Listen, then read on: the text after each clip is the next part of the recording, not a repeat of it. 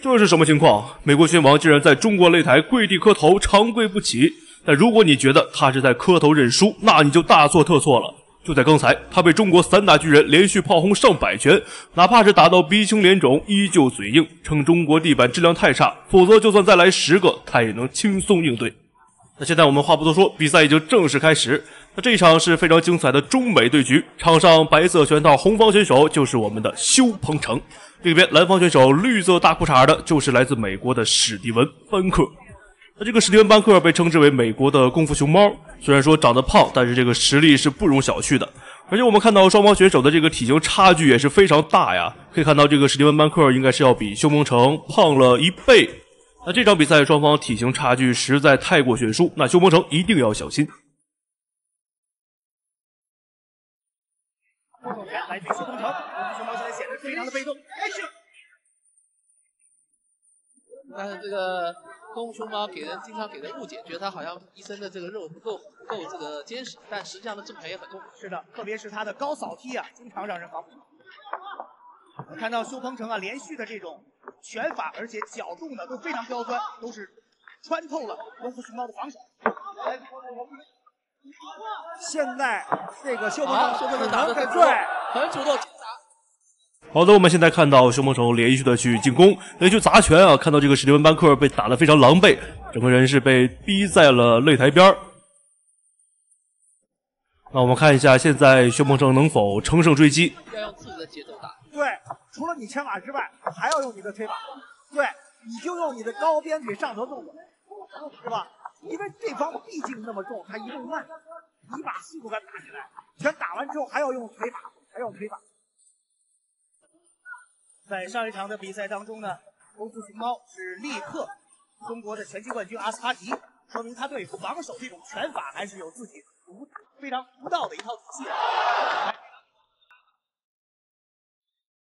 那我们看到，在修鹏程一拳下去之后啊，这个史蒂文·班克现在是越打越狼狈啊，越打越虚，越打越怂了。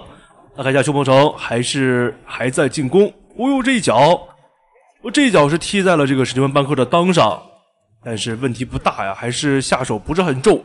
那现在比赛继续，看一下修鹏程能否直接 KO 掉这个史蒂文·班克。修鹏程有点撑不住了。但现在第一局看呢，修鹏程打的很足。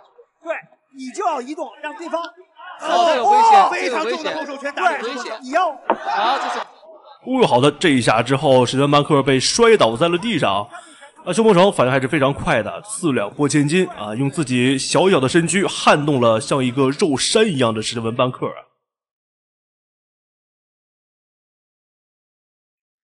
个体力压上去，可以说力力量可想而知。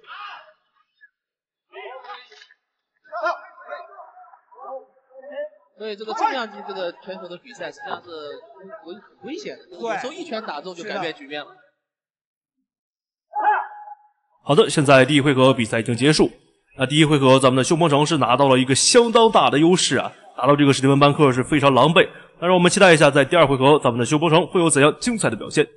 好的，现在第二回合比赛已经正式开始啊，看到这个史蒂文·班克在稍作休息过后，这个状态似乎是要好了一些。看一下邱鹏程在这一回合会采取什么样的战术，什么样的打法。非常出色的就是他永远不会给功夫熊猫带动自己节奏的机会，他永远是按照自己的节奏在走。熊猫之前对阵阿斯哈提的时候呢，就接连使出了这种面对于对手出拳的时候的勾腿这种，经常把对手勾倒。对。但今天好像他的这个腿法，确实修鹏程的，因为修。哦呦，好的，连续重拳之后打到这个史蒂文·班克根本没有还手之力了，甚至现在连格挡都做不到了。那现在裁判及时拉开了双方选手，我们看到现在史蒂文·班克是跪在地上磕了一个头啊。但是修鹏程呃依旧是不会手下留情。现在裁判开始读秒，看一下他还能否坚持。打中他会至少会。哦，那这个史蒂文·班克还想接着打，看一下修鹏程能否承受追击。好的，连续重拳。现在看到史蒂文·班克根本没有还手之力，好像整个人快要昏死过去了。好的，现在裁判是直接结束了比赛。那这场比赛之后，这个史蒂文·班克应该是整个人都不行了。那他莫不如在刚刚暂停比赛的时候就直接投降啊！那最后，让我们恭喜修鹏程获得了本场比赛的胜利。